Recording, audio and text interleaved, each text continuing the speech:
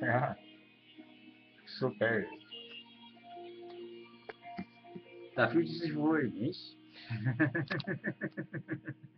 Ganz normal. Bei mir auf dem Schoß ist halt schön. Ne? Das ist so.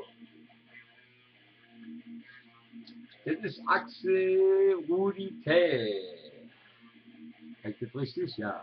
das ist so geil. Ah.